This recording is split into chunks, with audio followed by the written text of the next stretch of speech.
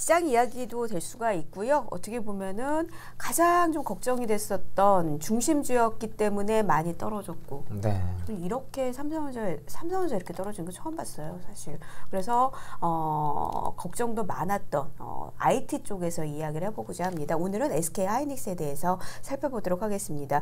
저는 이 피셔맨의 이야기가 맨님의 이야기가 참 눈에 띄네요. 시장 상황에 대한 글로벌 증시에 대한 상황들을 좀 말씀을 해주시는 것 같아서 여럿이 지금 물에 빠졌기 때문에 내가 수행을 안만 잘해도 위, 밑에서 발 좀 잡고 있는 어. 현재 시장 상황, 국내 시장 상황 이렇게 보시네요. 예, 피셔맨님은요. 예, 감사합니다. 예.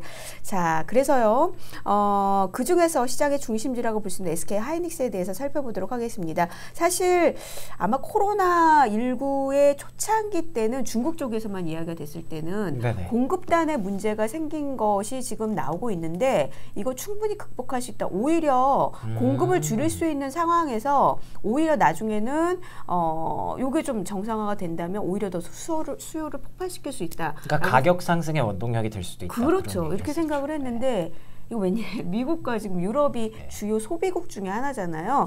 그런데 이쪽에 수요가 없어져 버리면 미국 어떡하지? 공급단도 문제고 수요단도 문제네. 그래서 정말 지금 이제 증권가에서 얘기를 들어보면 어, 이렇게 40%씩, 30%씩 떨어지는 거는 금융위기 때도 이러지 않았다고 얘기를 하는 정도로 그렇죠. 지금 이렇게 많이 떨어지면서 이 반도체 수요에 대한 이야기가 정말 얘기가 많았고요. 어, 이 부분과 중심으로 해서 뭐 아니다 수요 뭐 나중에는 올 것이다 하는데 지금 상황이 이런데 과연 소비가 살아나고 수요가 살아날 거에 대한 많은 얘기들이 있었습니다. 저는 근데 그때도 조금 어, 의, 의아하게 생각했던 게 음. 반도체의 수요를 냉정하게 판단을 했을 때 지금 뭐 간단하게 스마트폰이라든가 뭐 PC라든가 이것만 생각할 수 있는 게 아니잖아요. 저는 이제 집에서 원래도 집돌이기 때문에 집에서 이제 뭐 1인 방송이나 뭐 넷플릭스 같은 것들을 굉장히 많이 보는데 최근에 코로나19가 어, 악화가 되면서 그런 분들이 굉장히 많아진 걸로 알고 있어요. 근데 그 세계는 예전에 제가 한번 말씀드린 바 있지만 전혀 코로나19의 어떤 그 위협이라든가 이런 것과 전혀 무관한 세계, 세계가 그 계속 진행이 되고 있단 말이죠. 뭐 매출이라든가 뭐 아프리카 TV가 뭐 코로나19로 인해서 나빠질 일이 전혀 없잖아요. 예, 그런 부분들 때문에 저는 그걸 보면서 약간 어떻게 보면 퇴근하고는 코로나를 좀 잊고 살기도 했던 네. 그런 아. 모습이었는데 오히려 시- 여기 오면은 또아 코로나 예 그런 그런 삶을 살고 있었는데 네. 그런 측면에서 봤을 때는 반도체가 그쪽 으로는 계속 수요가 필요할 텐데 예를 들면 이제 코로나19로 인해서 우리의 생활 패턴이라든가 패러다임의 전환이 올 것이다 이런 얘기도 많이 했기 때문에 예. 그런 쪽으로 간다면 당연히 반도체는 계속 필요하지 않을까라는 생각을 했었는데 왜 이렇게 주가가 많이 내리지? 여기에 제가 좀 더 이야기를 덧붙일 수 있다면 지금 어, 핸드폰 판매량, 스마트폰 판매량을 네네. 보면은 무려 34% 2월인가요? 판매량 준 것으로 나와서 아, 당연한 거죠. 그쵸. 당연한 거예요. 어, 지금 소위 말해서 이렇게 얘기를 하더라고요. 뭐 인터넷하고 뭐도 하고 그런데 이번에 2020년에 가장 큰 모멘텀 중에 하나가 반도체가 많이 쓸 모멘텀 중에 하나가 스마트폰 등등의 저기 뭐라 그럴까요? 기대감? 어, 기기들, 디바이스들 이런 네네. 쪽이었는데 사실 기존에 있던 걸로 넷플릭스 볼 수 있고 그렇죠. 어, 통신할 수 있고 그렇죠. 왜 SNS 많이 하는데 왜 왜 이렇게 얘기를 할 수는 있겠지만 안 사고도 할 수 있거든요. 그러니까 여기에 대한 수요가 떨어져 버리기 때문에 네. 감소를 시킬 수 있었, 있었습니다. 그러니까 그 부분에 대해서 충분히 수요에 대한 우려가 많아질 수밖에 없었다라고 어, 어, 지금 이렇게 얘기를 할 수가 있겠어요. 아, 자꾸 말을 못 하겠어. 이게 네. 무슨 말이야? 뭐라고요, 님의 말이 뭘까요? 스타 종족이 뭐냐고. 아 그러니까 스타크래프트라는 게임에서 네. 어떤 종족 플레이하냐고. 음, 뭐 어. 굳이 대답을 해드리면 저는 프로토스 좋아합니다. 아, 프로토스. 그러세요? 예. 네.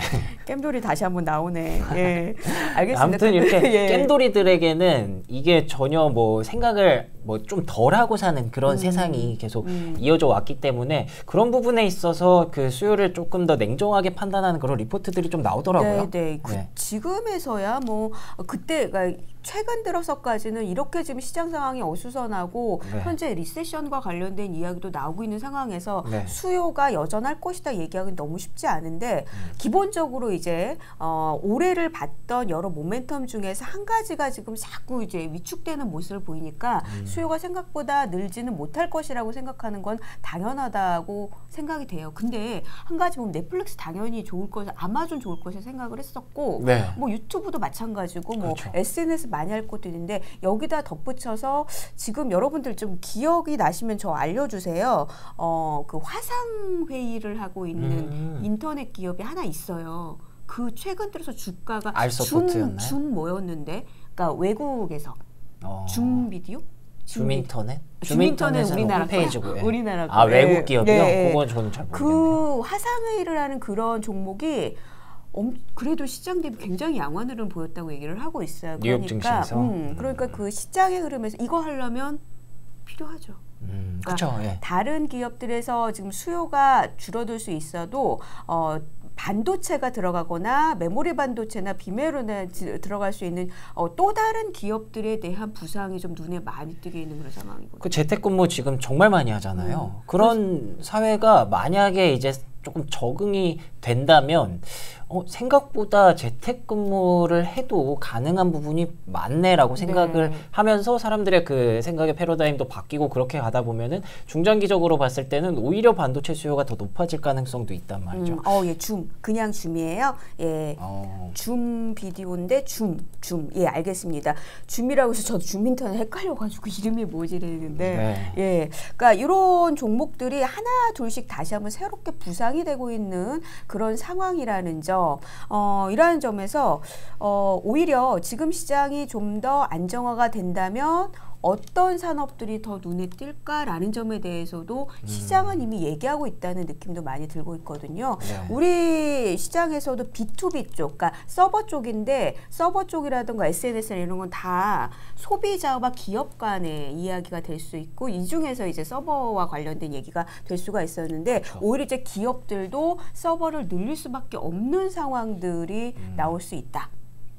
그쵸. 그러면은 서버 디램은 당연히 수요가 높아질 높아질- 것으로 기대는 되게 기대가 되겠죠. 예 기대는 돼요. 기대도 할 거예요. 아, 근데 그 아직까지 그러니까 조금 조금 걱정되는 건 분명히 있죠. 음. 아직까지 코로나19를 조금 더 넓게 봤을 때는 네. 뭐 이탈리아라든가 미국이 계속 지금 확산되고 있는 추세이기 때문에 그게 꺾이지가 않았잖아요. 음. 네, 네. 맞아요. 그래서 여전히 변동성이 확대되는 건데 저는 상당히 좀 눈에 띄는 게 뭐였냐면 어쨌든 지금 이 시기가 지나가면은 산업이 어떻게 바뀔까? 네. 그리고 어떤 기업들이 주목을 받을까? 사, 다, 어, 지금 굉장히 아쉽지만 우리 시장에선 기존에 있었던 음. 어, 기업 외에는 눈에 띄는 거 없어요. 그래서 여전히 오늘 아침 역시 어, 그동안 그래도 코로나 19와 관련돼서 그래도 꿋꿋하게 잘 버티다가 막판에 좀 쓰러졌던 종목들이 뭐 게임이라던가 이런 종목들이 어, 있었잖아요. 그렇죠. 그게 예. 가장 먼저 빠르게 올라오는 것도 눈에 띄고 있어서 음. 기존에 좀 강했던 종목들이 올라가고 있긴 하는데 어, 해외 쪽에선 이미 관련된 종목들이 어, 좀 빠르게 찾아내고 있다는 것도 좀 눈에 띄고 있습니다. 이게 근데 이제 메모리 반도체나 디램하고도 많이 연관돼 있다는 그런 종목들이 있다는 거죠. 네. 예. 제가 그리고 지난번에 한번 또 그런 얘기를 한 적이 있었는데 삼성전자의 주가가 많이 떨어졌지만 아직까지도 제가 보기에는 어 그래도 비싸 보인다라고 얘기를 했던 적이 있었어요. 그만큼 어, 많이 떨어지기는 했는데 그 전에 기대감을 받고 굉장히 많이 올라갔었잖아요. 삼성전자가 6만 한 6천 원이었나요? 6만 6천 원은 아니었나? 음, 예, 음. 그 그게. 예. 이제 환산하면 은 300만 원 훨씬 훌쩍 뛰어넘는 그런 주가잖아요. 과거 그 50대 1로 하기 전으로 환산을 해보면 그것뿐만이 아니라 SK 하이닉스도 고점이 제가 알기로 11만 원 음. 거의 가까이 올라갔던 걸로 기억을 하는데 10만 6천 원까지였네요. 그만큼 올라갔던 기대감을 뺄만한 그런 사태긴 했던 것 같아요. 아 지금 많이 빠졌어요. 네. 예, 예. 삼성전자 이 정도 수준이면 글쎄요. 어 돈을 덜 벌어도 이 네. 정도 수준에는 놓이지 않을까 하는 생각 들 정도로 어, 좀 빠졌는데 어, 마이너스만 안 돼도 지금 현재는 성장이 조금 이, 조금이라도 된다면은 아마 이 수준에 대한 고민을 하실 것 같아요. 네, 저도 그렇게 네, 생각해요. 네, SK 하이닉스도 그렇고 어, 오- 이 예상 예상보다 성장성이 좀 둔화된다 하더라도 계속 성장한다고 한다면, 그러니까 매출이라던가 수익성의 증가가 조금 더 보인다고 생각을 한다면 지금 지금의 가격대에 대해서는 어떻게 봐야 되지 하고 진지하게 고민을 하실 것 같거든요. 네. 음, 음, 음. 실제로 이번에 그 주가 PBR을 굳이 지금 뭐 PBR, PER이 통하는 그런 어, 사회는 아니라고 하지만 어찌됐든 그걸 구해보면 삼성전자가 1.1배, 어, SK하이닉스가 1.0 어, 수준으로 하더라고요. 근데 이게 뭐 그렇게 낮은 게 아니네 라고 들리실 수도 있지만 10년 내에 역사적 저점 수준까지 어, PBR이 내려와 있다는 점, 이 부분은